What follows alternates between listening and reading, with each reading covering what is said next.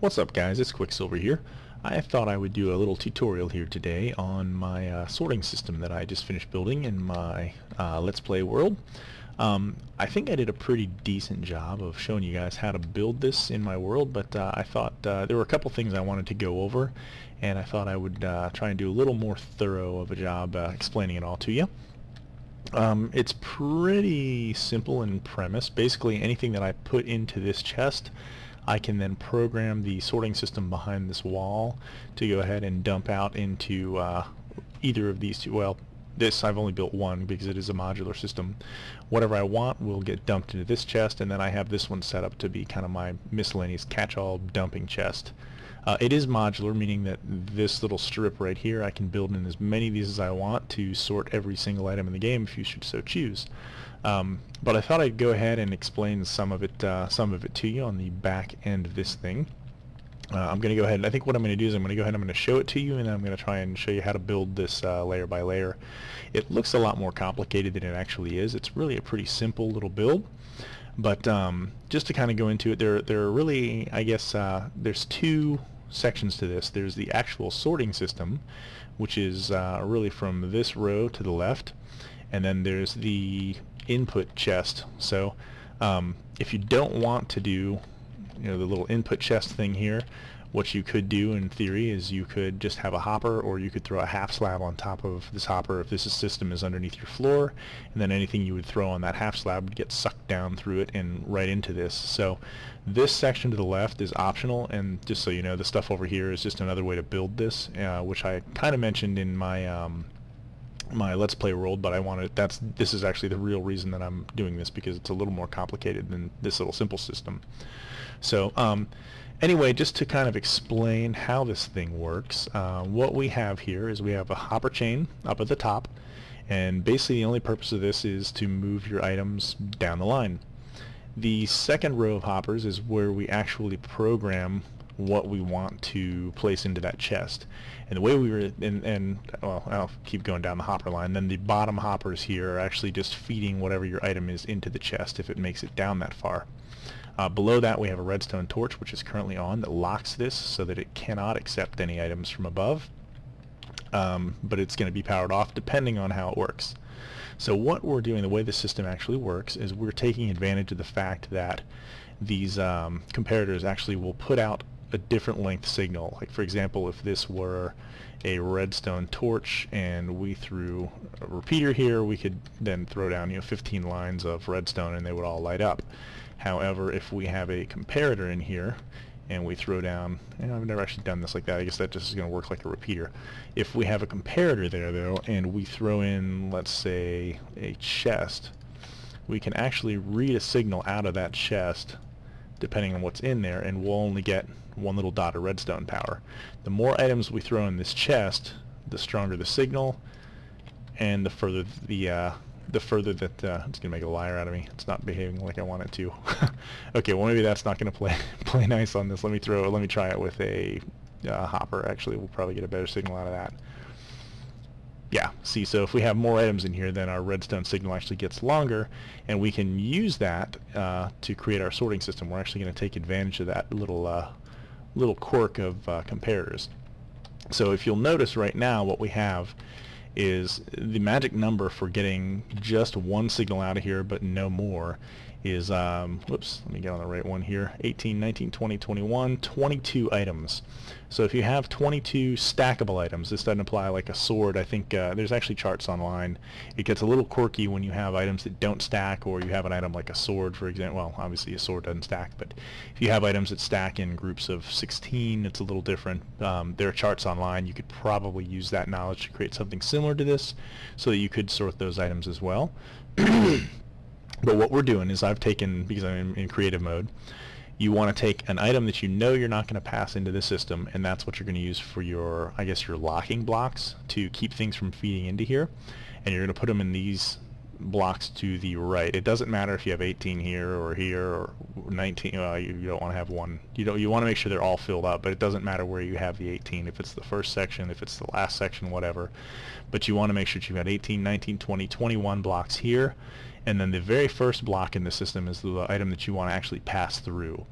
So what happens is when that item comes down the hopper chain and it's this hopper wants to suck it up, if it matches this first block, hey look it's cobblestone. It'll suck it into here and you'll actually end up with that scenario. And if you noticed it I immediately pulled it out of there and down to the bottom uh, the bottom hopper here. And I'm not sure because of where I placed that yeah it's not actually going to feed through there but um, the thing that you didn't see because you couldn't because we were looking at hopperland there is when you put that one extra item in here you get an extra pulse of redstone you get just like we saw over there you get that second little redstone power here which because we're now powering that block, it feeds into this repeater, which then feeds into that block and turns off this torch just long enough so that the item that gets fed through here will get sucked down and through here and then fed right into the chest.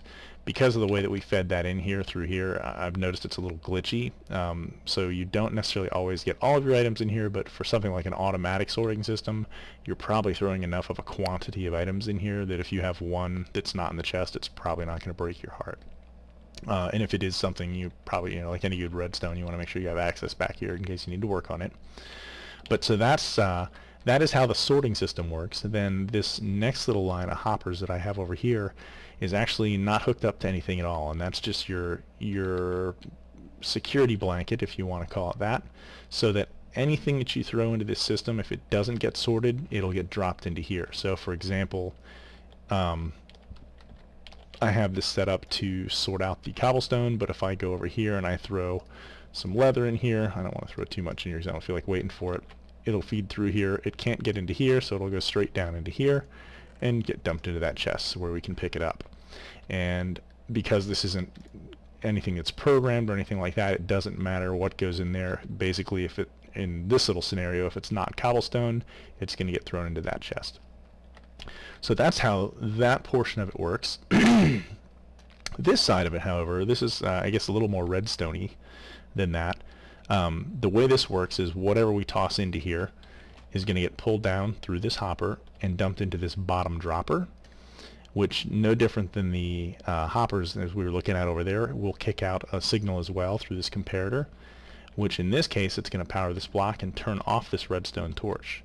What our redstone torch is doing is we've got a little hopper timer back here, and the way these things work is you have two hoppers, I don't know if you can see underneath there, they're actually facing one another, and you build those like this, hold down shift, and you can see the little feed is heading to the left, and then we're going to hold down shift and we're going to feed another one into it. So those two items are actually throwing back and forth into each other.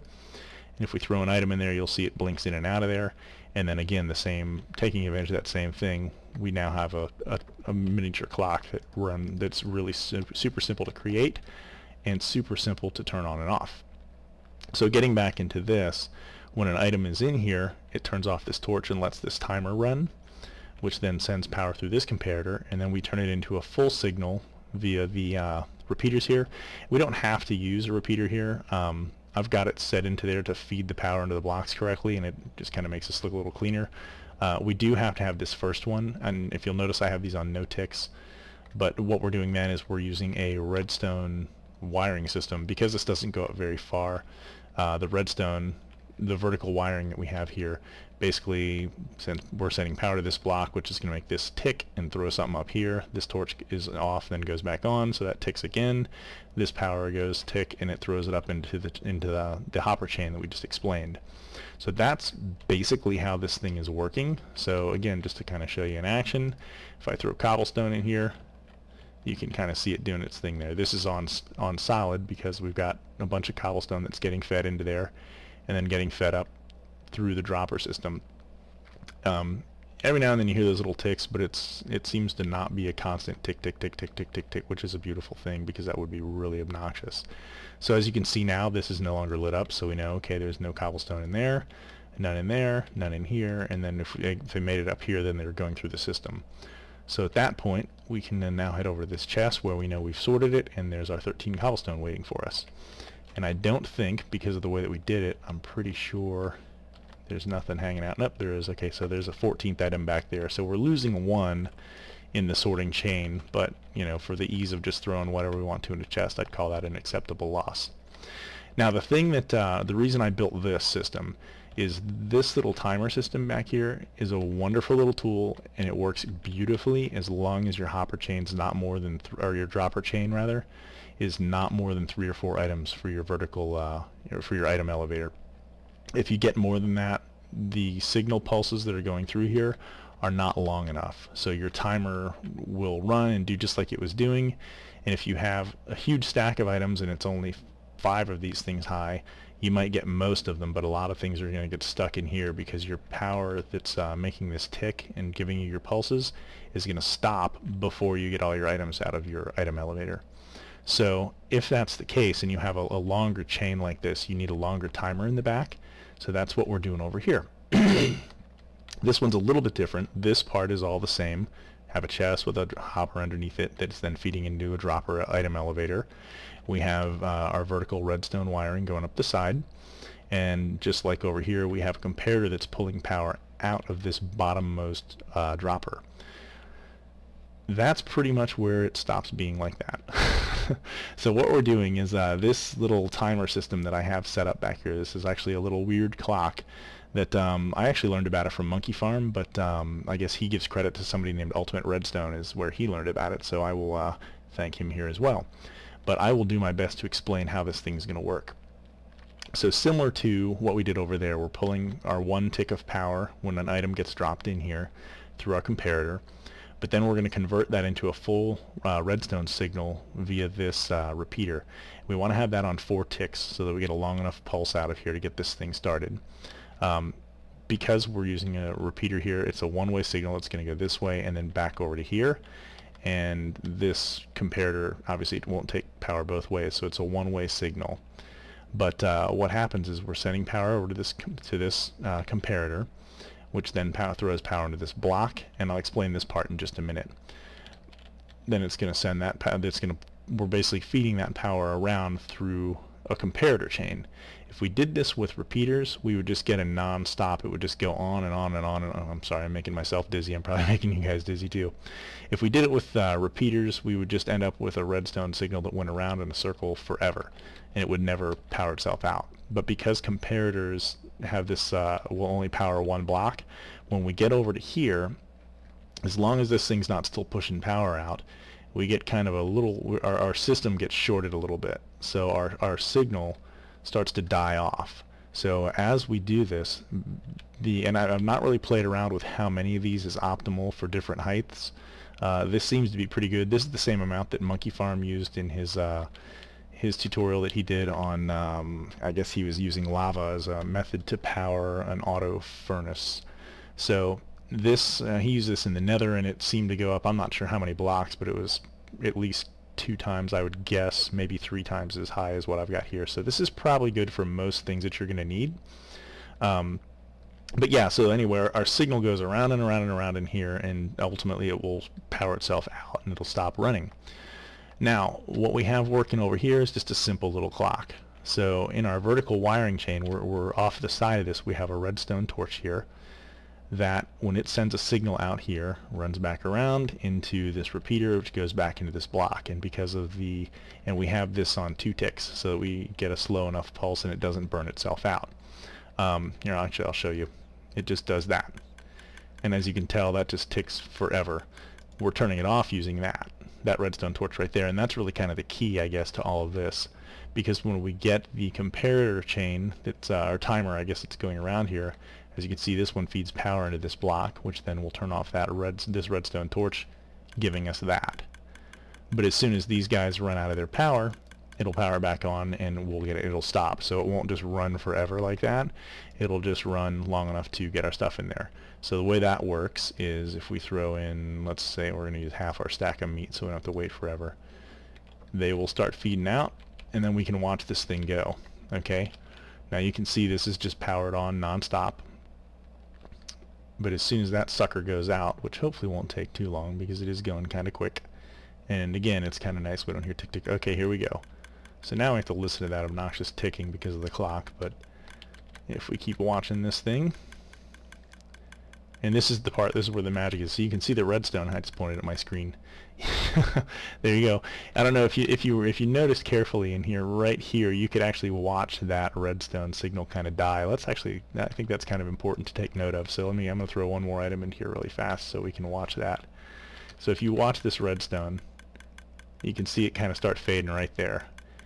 And it just kind of slowly dies out. And then when it dies out, this torch goes back on in three, two, one. Wow, I'm good. I lucky there. So there you go. So that torch goes back on, turns off the signal on all the items at this point. There's nothing hanging out in here. It's all up here in this last hopper because I don't have it actually going anywhere.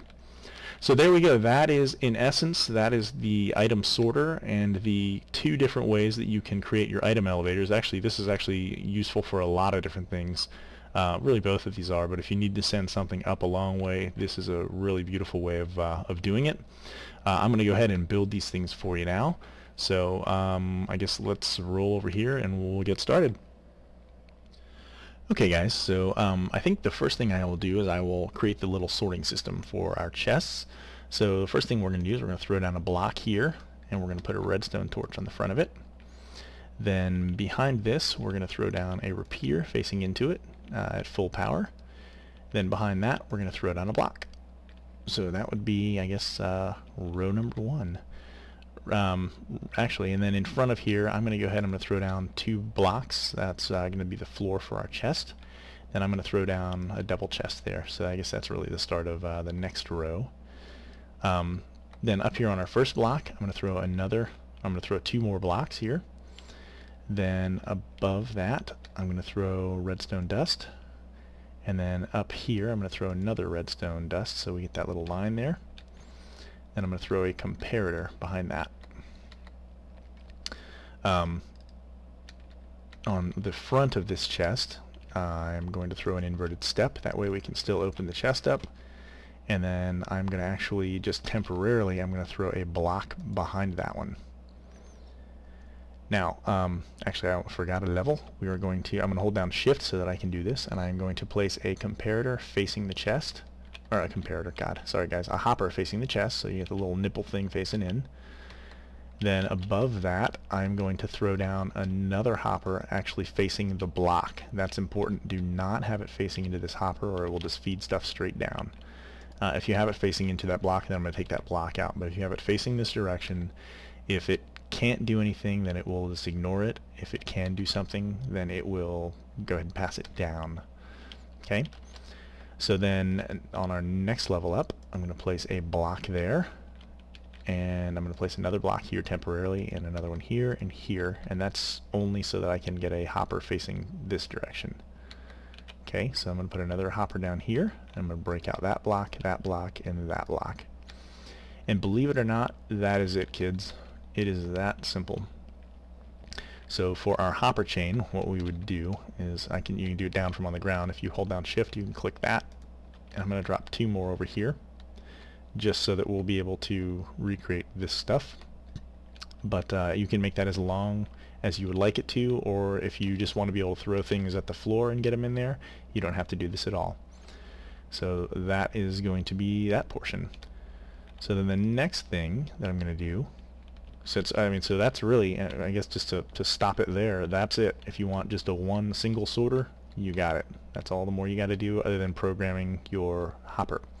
So let's go ahead and do that actually before I start the rest of it. Um, I'm just going to go ahead and use, uh, I guess I'll go with uh, sponge because that's a good simple block that you never find in the game. So I'm going to hold them shift click and grab a whole stack. Then the first thing I'm going to do is break this down there's 16, 17, 18. So I'm going to throw 18 here. Then 1, 2, 3. And then I'm going to throw whatever it is that I want to sort. In this case, I'll say leather. I'm going to throw it right there. And that is now programmed so that leather will get dumped into this chest. So we'll go ahead and we'll give a little test. I'll throw, you know, grab half a stack. We'll throw it in there. You can actually see it counting down. You see that power ticking there, so that's a good sign. There's only one left in there. There's one left in here. Like I said, we do lose one item, but then there's a leather. So that does pass down correctly. Now if I throw down another item in here, like let's say this cobblestone, it'll feed out of this, but if you notice there's no signal coming out of there and it's just ending up in this last hopper right there. So I don't think it went down anywhere. It shouldn't have. Oops. These things are hard to tricky to click on sometimes. So what we want to do now, because we've got the uh, we have our sorter in here, you can create as many of these as you want. It is modular. If you want to create 45 of these things, hey man, knock yourself out. Um, you can put them right next to one another. The trick to that is is creating a trapped chest and you can create those if you don't already know how. If you have a tripwire hook and you have a normal chest, well, ah, shoot, let me show you here really fast. Um, if I throw the tripwire hook in, it won't let me do it in there. Okay. Well, suffice it to say, if you do this with your chest and a tripwire hook, it will create a trap chest. That's probably enough of a tutorial for you guys. You can look it up on Google if you really don't know how to do that. Um, so there we go. I'm going to just go ahead and use the cheaty way of doing it, and I'm going to grab a trapped chest out of here. But by grabbing a trapped chest, you can place it right next to your normal chest, and the texture, your texture pack, if it's done properly, they should be identical, so you can't tell the difference. It just looks like you have two chests, two double chests right next to one another. So then, just for consistency's sake, I'm going to go ahead and shift-click, and I'm going to make this look the same as that one does. Then this is my dump chest, by the way. So I'm going to hold down shift here so that I'm facing that hopper into our chest. And then I'm going to vertically wire, or not vertically wire, too much redstone. I'm going to vertically place those two. So what we have now, that's you only want to have this one pointing down like that on the very, very end of your hopper chain. If you put this anywhere else in the middle of your chain, it does not matter what you do past here. Everything is going to get dumped into that chest. So now, if we place a half a stack of leather there, and then we throw some sponge here. As soon as it gets through that leather, it starts feeding the sponge. So what we'll end up with is our sponge. Oh, I forgot I had sponge in there as a block. Sorry about that, guys. Okay, so our leather ends up there, and then I'll throw some cobblestone in here. And the cobblestone will not be in this first chest because we have it programmed wrong. Okay, what did I do here? Okay guys, sorry about that. I figured out what I did wrong there. Um, when I threw my sponge into the system, I kind of threw this all out of whack because I have, I forgot I used sponge as my non-identifier block and then uh, the reason my cobblestone actually went down into the chest is because once the sponge went through there it started sucking this stuff out and I had this all out of there and it was just to totally unprogrammed. So let's try that again. If I throw in some leather there and I throw in some cobblestone here we will end up, this time, I feel remotely confident, only leather in this chest, and our cobblestone ends up in our dump chest there, which is what we wanted. So there you go. That is the basic sorting system for you. Um, I guess at this point I will go ahead and I will build the uh, item elevator that we've got working there. Okay guys, so um, I think what I'm going to do as we build the item elevator you don't really have to put this separator in between your chests. I prefer to do that just because I think it makes it a little easier to tell which chest is the dump chest versus where your actual sorting system starts. So I'm going to go ahead and do that here. And actually, because of uh, how this is going to have to empty out to get into the item elevator, um, we don't need a block, in our, or actually we can't have a block underneath the back of that, uh, that chest. So that part obviously is pretty straightforward. I'm going to go ahead and get some droppers in here. So the first thing we'll need to do in getting the item elevator built is we got to throw the first dropper down there. Um, and we'll throw a hopper pony into that from that chest. So anything that we throw into here we'll, well, yeah, anything we get dropped into there, oh, there you go, gets spit out of the dropper.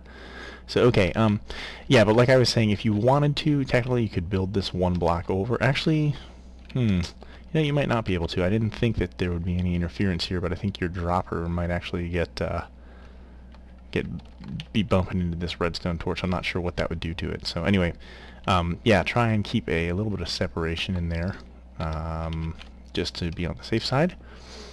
And then, uh, there we go, just to make that pretty from the front. Ta-dam. Isn't that cool? Okay, so next thing we got to do, I'm actually going to knock that out of there just to make this a little easier for me. Hold down shift and jump and jump and then I'm going to hold down shift again to replace the hopper that I just broke. So there's our little basic item elevator there. Yeah, that's good. I'm glad the uh, daylight decided to come back out for us now. Um, yeah, incidentally, I've got this, uh, where is it? This little guy over here, a little daylight sensor with a command block, so that if it gets too dark, it does become daylight. But anyway, that has nothing to do with this. So, alright, um, that's really it in a nutshell to get the item elevator in place. Uh, the only thing that we're missing from it now, obviously, is the timer. So what I'm going to do, I'm going to go ahead, I'm actually going to build, even though this is just a little short system, I'm going to build the more complex timer, which would be this one, even though it's not too bad. This one, like I said, I think it's pretty straightforward. You're just going to bring a comparator off the back of the hopper that goes into a block with a redstone torch on it. Two hoppers facing each other. One of one item in the hopper in either hopper. It doesn't make a difference which one. another comparator coming off of the hopper that points back towards your vertical wiring, uh, and then two uh, redstone repeaters that go into a block that powers your uh, redstone vertical wiring. So that's really all that's uh, entailed in this little tiny timer. But uh, like I said, I'm going to go ahead and I'm going to do this little more compl complicated one just because I think uh, even though we don't really need it. Okay guys, um, I'm actually re-recording this, so hopefully I'm not uh, leaving anything out. I uh, just realized that I kind of goofed up when I was building the timer on this. So anyway, here we have our um, item elevator that's going to take items out of the chest and into the item elevator and then send them up to our hopper chain. Um, so as far as a timer that's on this, I'm actually, even though we don't need it, I'm going to go ahead and I'm going to build the more complicated timer that we've got over here. Um, again, if I've already said that, I apologize. But um, yeah, I just I think this is probably going to be a little more complex, and I want to make sure that uh, people know how to build that one. So um, actually, I think I am repeating myself there. So anyway, um, the first thing that we're going to do is we're going to go ahead and we're going to get our vertical redstone wiring in here, which is pretty basic. So then we'll do that. You hear the one little tick. That's okay. Um, I think the next thing I'm going to do is I'm going to build our clock. So to do that, we're going to put a redstone torch here. And I'm going to throw down a repeater here and set that one to two ticks.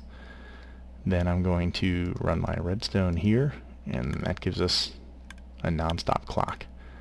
So then the next thing I want to do is I'm actually from the corner of this redstone here, I'm going to skip a block, I'm going to throw down a block here, and I'm going to throw a redstone torch on it. And that's going to lock this clock so that it'll stop.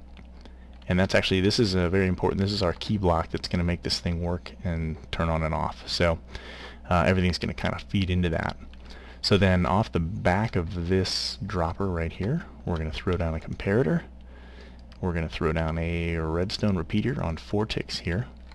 And that's actually going to be uh, so that our redstone signal will continue around. Then I'm going to throw down two dots of redstone here. And then a comparator feeding into this block. Then if I'm doing this right, and I'll check it before I uh, before I continue. We're going to do three comparators here, feeding into a block.